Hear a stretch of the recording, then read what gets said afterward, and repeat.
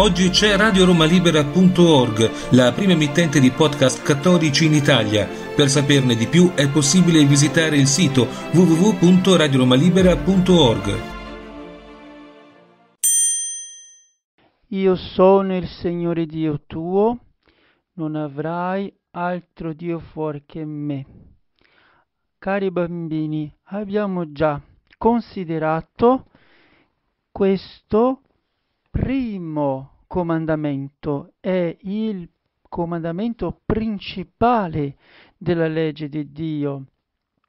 Abbiamo già considerato come tutta la legge di Cristo, tutta la legge di Dio, dipende dalla carità. E la carità poi dipende da due precetti uno dei quali riguarda l'amore di Dio e l'altro riguarda l'amore del prossimo. Vedete come è semplice la dottrina di nostro Signore Gesù Cristo. Fa dipendere tutto dall'amore, dalla carità. Perché? Perché Deus caritas est perché Dio è carità, Dio è amore e nostro Signore vuole che noi siamo come Lui, carità, amore e l'amore abbraccia da una parte Dio e d'altra parte abbraccia il prossimo. Perciò la carità dipende da due precetti, da due comandamenti, uno dei quali riguarda l'amore di Dio e l'altro riguarda l'amore del prossimo.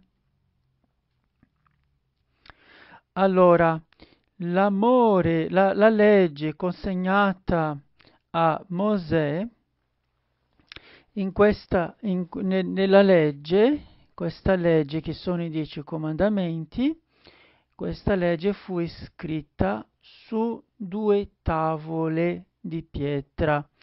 I primi tre comandamenti scritti sulla prima tavola riguardano l'amore di Dio, mentre gli altri sette scritti sulla seconda tavola riguardano l'amore del prossimo. E tutta la legge si è fondata su questi due precetti. Allora, il primo comandamento che riguarda l'amore di Dio esclude soprattutto l'idolatria, perciò dice non avrai altri dei. Io, io sono il Signore Dio tuo, non avrai altri dei e per comprenderlo bisogna sapere che gli antichi trasgredivano questo precetto in molti modi. Alcuni prestavano culto ai demoni e la, il Salmo dice che tutti gli dei delle nazioni sono demoni. Infatti nel passato ogni nazione aveva il proprio Dio. Questo è orrendo e tra tutti i peccati è il più grave il peccato di idolatria, di rendere a falsi dei il culto di adorazione. Anche Ora molti trasgrediscono questo precetto, sono tutti coloro che praticano la divinazione e i sortileggi.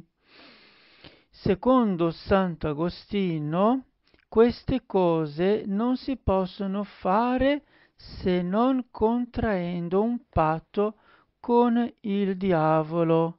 E qui vorrei, cari bambini, richiamare la vostra attenzione per una serie di libri, anche di film, um, uh, fatto, uh, per esempio, Harry Potter. Uh? Avete forse letto qualche libro o guardato qualche film di Harry Potter? Uno può pensare, ah, è una storia innocente, una storia per i bambini. In realtà, i libri e i film di Harry Potter è una iniziazione alla magia, all'occultismo. Suscita nel cuore dei bambini questa curiosità per questo mondo degli, dei fantasmi, della magia, degli spiriti. Attenzione, non è un film da guardare, neanche un libro da leggere. Noi dobbiamo, dobbiamo coltivare le cose belle, le cose sane. Ci sono anche tanti film sulla televisione dell'horror, eh, film di violenza questi film dell'horror e di violenza sono anche una qualche iniziazione a questo aspetto della magia, dell'occultismo, perché il demonio è il padre del, dell'omicidio, della violenza.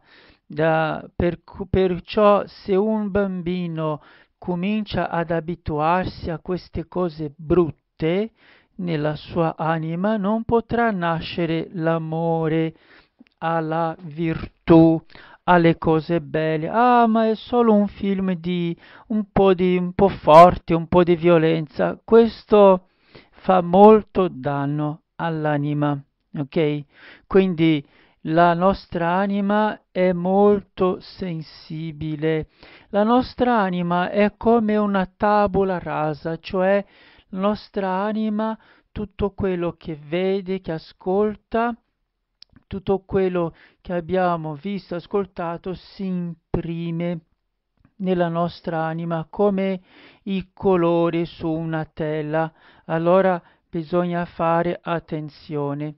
Poi, ritor- ritornando al, agli antichi, molti prestavano eh, culto anche ai corpi celesti, cioè agli astri, e oggi ci sono quelli che seguono l'oroscopo. Anche questo è un modo di idolatria, perché è un modo di credere al movimento degli astri piuttosto che alla divina provvidenza.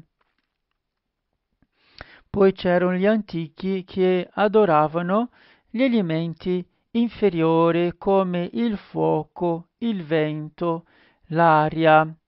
Nell'errore di questi cadono tutti coloro che usano male delle cose inferiori, amandole eccessivamente, come il caso dell'avarizia. Oggi c'è gente che fa del palone, del calcio, il suo Dio, fa dello sport un idolo e è capace di saltare la messa la domenica per andare a fare una corsa, andare a correre dietro un pallone. Questo è idolatria, c'è l'idolatria del corpo che si dà più importanza all'aspetto fisico che all'anima, questo anche è idolatria, è adorare se stesso che passa ore davanti allo specchio a guardarsi, che poi si ha un problema va subito dal dottore per aggiustare il naso, la bocca, il, l'orecchio, i capelli. Questo è una forma di idolatria, è una schiavitù di cose inferiori perché il corpo prima o poi marcirà prima o poi lasceremo il nostro corpo nel cimitero come castigo dei peccati. Allora, cari bambini, chiediamo sempre alla Vergine Maria la grazia di amare Dio nostro Signore al di sopra di ogni cosa. Gli antichi facevano anche un altro errore che loro adoravano gli antenati o se stessi. E su questo parleremo un attimo la prossima volta. Sia lodato Gesù Cristo.